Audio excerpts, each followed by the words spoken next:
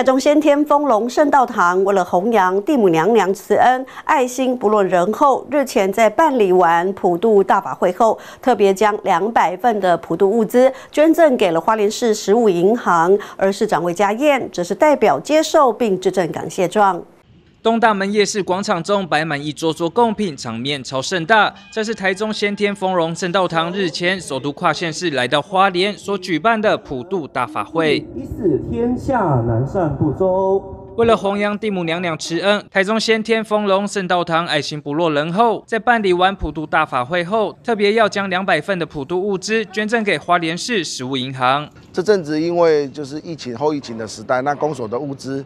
其实是比较短缺的，那秦岭的民众也是非常的踊跃。那感谢就是圣道堂在这段时间内这个及时雨的物资的记录，让我们花莲市的民众可以有更多的物资可以清理。那我在这边也呼吁，就是各善心的企业或者是社团或者是公庙，如果有物资的话，可以让我们来帮助需要帮助的民众。那食物银行其实这阵子比较短缺的物资有婴幼儿的奶粉跟尿布，这部分是比较短缺的。如果大家能力可以的话，就欢迎大家来做捐赠。市长魏家燕则感谢来自各界的善心人士、宗教社团与企业单位大力支持爱花莲食物银行。他强调，到食物银行领取物资并无户籍限制，只要生活面临困难需暂渡难关，都可以备妥相关文件到爱花莲食物银行填表申领。记者徐立琴，花莲市报道。